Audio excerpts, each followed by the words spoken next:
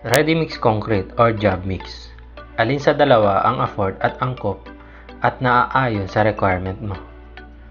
For small houses requiring 1 cubic meter or less, I suggest na gumamit tayo ng job mixing instead of ready mix concrete. Ready mix concrete is not always practical for small jobs. Saka lang tayo gagamit ng ready mix kung nangangailangan tayo ng malaking volume of concrete. Pero anong mix proportion ba ang gagamitin natin kung tayo ay magalo ng mano-mano? Well, yan ang pag-uusapan natin sa araw na ito.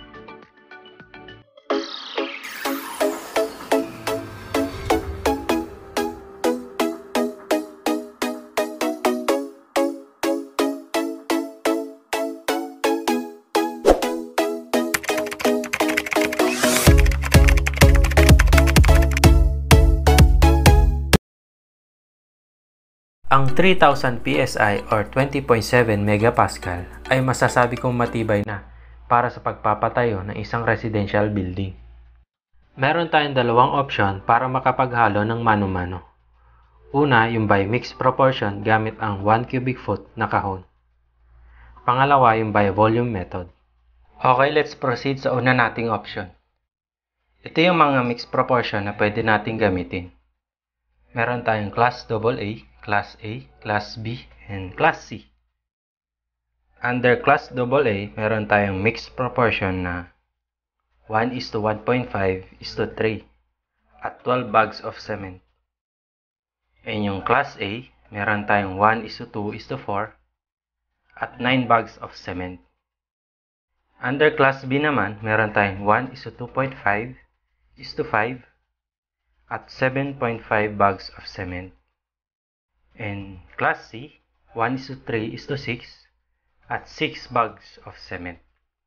Pero alin ba dito ang makakapagbigay sa atin ng 3,000 PSI or 20.7 megapascal?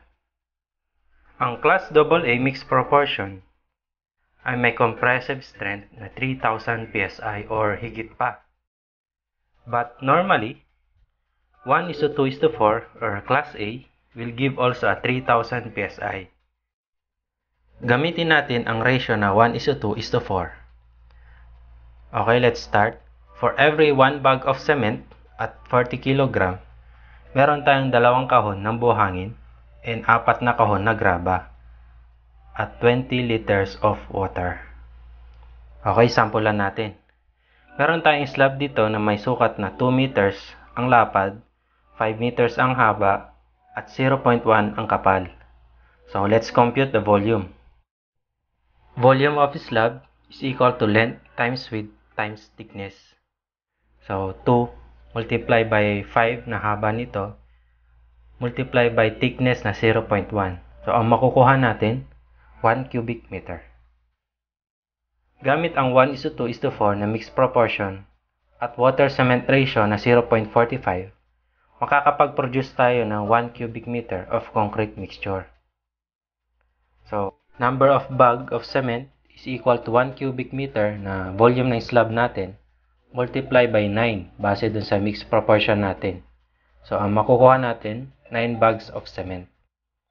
Next, computein naman natin kung ilang kahon na buhangin ang magagamit natin to produce 1 cubic meter na kailangan natin para mabuhusan ng slab. Okay? Sand is equal to 9 na mixed proportion natin multiply by 2 na galing sa 1 is to 2 is equal to 18 bags or 1 cubic foot. So, yung graba is equal to 9 times 4. So, yung 4 galing doon sa mixed proportion na is to 4. So, ang makukuha natin, 36 na kahon ng graba. Para naman sa tubig, meron tayong water cement ratio na 0.45 multiply by 360 kg na galing dun sa 9 bags of cement na na-compute natin. So, ang makukuha natin, 162 liters na tubig. Para mabuhusan yung slab natin na 1 cubic meter, kakailangan natin ng 9 bags of cement, 18 na kahon na sand, 36 na kahon na graba, at 162 liters na tubig. Next, sampulan naman natin yung in terms of volume or cubic meter. By the way, kung gagamit tayo ng kahon na may sukat na 1 cubic foot, ito ang magiging multiplier natin ng sand and gravel. So, closely the same naman sa 0.5 na multiplier natin para sa sand at 1 para sa gravel. So, pero I suggest na gamitin na lang natin yung 0.5 and 1 na multiplier natin for sand and gravel. Okay, sampulan natin. Meron tayong dalawang footing with dimension of 0.9 by 0.9 meters at may kapal itong 0.2. So, to compute its volume, just multiply yung length times width times yung thickness nito. So, volume is equal to 0.9 multiply by 0.9 multiply by ang kapal nito ay 0.2 then times 2 para sa dalawang footing. So, ang makukuha natin 0.324 cubic meter. Okay, let's compute kung gaano karaming semento, buhangin, graba at tubig ang kakailangan natin para dito. So, number of bag is equal to 0.324 na volume natin multiply by 9 is equal to 2.916 bags or 3 bags of cement. For sand naman, so 0.324 multiply by 0.5 is equal to 0.162 cubic meter. For gravel, is equal to 0.24 multiply by 1. So, ang makukuha natin, 0.324 cubic meter of gravel. Para mabuhusan natin yung footing, kailangan natin ng 3 bags of cement, 0.162 cubic ng sand, at 0.324 cubic ng graba. Pero basically, to attain that strength, maraming factors ang dapat natin i-consider sa paghalo ng konkreto. Yung una, yung compressive strength. Usually, para sa ordinary mix, tumatagal ito ng 28 days bago ma-attain yung maximum strength nito. Next, yung workability. Ang workability of concrete ay magdedepende sa size and section to be concreted at dami ng bakal. At kung anong pamamaraan ba ang pagcompact tulad ng pag-apply ng vibration or simpleng paggamit ng rubber mallet. Usually, column, beams, girders, shear wall, suspended slab. Ito ang mga nangangailangan ng smaller sizes of aggregates dahil sa number or minimal spacing of bakal na meron ng mga ito. Next, yung durability. Ang durability ng concrete ay magdedepende sa water cement ratio na ginamit. Next, yung size of aggregates. Nandyan rin yung grading and type of aggregates. At yung panghuli, yung quality control. To consider ang mga ito sa paghahalo ng concrete, kailangan natin mag-conduct ng trial mix or ang tinatawag natin design mix. Base sa trial mix na aming ginawa from actual construction, we obtained 3,000 PSI from this mix proportion, considering na dry yung sand and yung gravel. At ang sand na aming ginamit ay galing sa Porac, Pampanga, while the coarse aggregates ay sa Taisan, Rizal. Ito yung naging resulta ng trial mix natin. Para sa column, tie beams, beam, girder, shear wall, suspended slab, or any other structure na nangangailangan ng mas maliit na bato.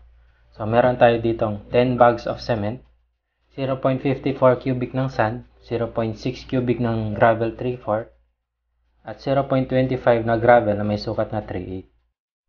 For footing, wall footing, and slab, meron tayong 9 bags of cement, 0.58 cubic ng sand, 0.58 cubic ng gravel G1, at 0.27 cubic meter na 3/4.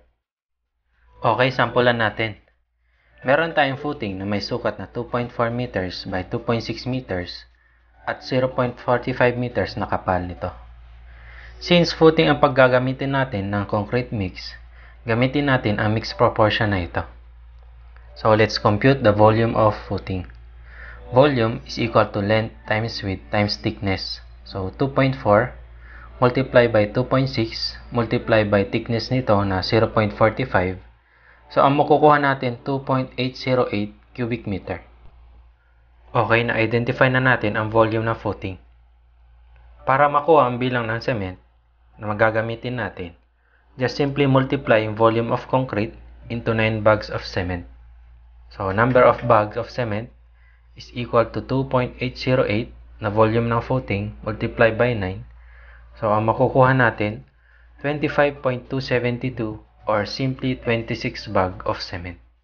Para naman sa volume ng sand, so volume of sand is equal to 2.808 multiply by 0.58. So, ang makukuha natin, 1.628 cubic meter or simply 1.65 cubic meter of sand. For coarse aggregates, meron tayong G1 at 3/4. So, unahin natin yung G1. So, volume of G1 is equal to 2.808 multiplied by 0.58 is equal to 1628 cubic meter or simply 1.65. For 3/4, volume of 3/4 is equal to 2.808 multiplied by 0.27. So, ang makukuha natin, 0.76 cubic meter of 3/4. Computin naman natin ang dami ng tubig na ating ilalagay. So, volume of water is equal to 960 kg of cement na na-compute natin gamit ang 26 bag of cement multiply by 0.48 na water cement ratio natin. So, ang makukuha natin, 460.8 liters of water. Para mabuhusan natin yung footing, kailangan natin ng 26 bag of cement, 1.65 cubic na buhangin, 1.65 cubic na G1, 0.76 cubic na 3/4, at 460.8 liters na tubig. Sampulan naman natin yung second mix proportion natin for 3/4. For column na may sukat na 0.45 meter by 0.6 meter by 2.4 ang height nito, gamitin natin ang mixed proportion na ito. Let's compute the volume of column. So, volume of column is equal to 0.45 multiply by 0.6 multiply by 2.4 na height nito. That is equal to 0.648 cubic meter. So, na-identify na natin yung volume ng ating poste. So, let's compute kung ilang bag ba ng cement ang magagamit natin dito.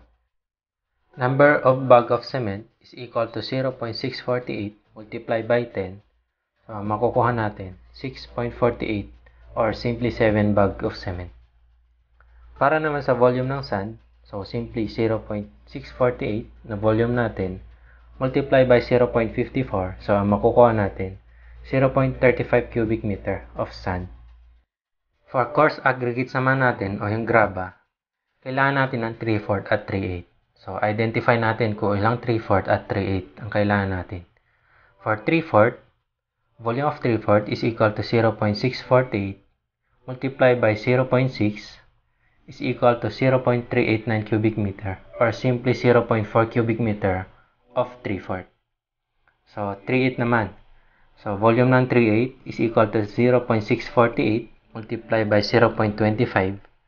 So, ang makukuha natin, 0.162 cubic meter of 3/8. Computin naman natin ang dami ng tubig na ating ilalagay. So, volume of water is equal to 280 kg of cement multiply by 0.45 na water cement ratio natin. So, meron tayong volume of water na 126 liters. Para mabuhusan natin yung ating poste, kakailanganin natin ng 7 bag of cement, 0.35 cubic ng sand, 0.4 cubic ng 3/4, at 0.162 na gravel 3/8. At meron din tayong water na 126 liters. Sa susunod nating video, pag-usapan naman natin kung ilang araw ba bago baklasin ang forma. Kung bago ka pa lang sa aking channel, please like and share at huwag kalimutang pindutin ang subscribe button at notification bell para lagi kang updated sa bago kong upload.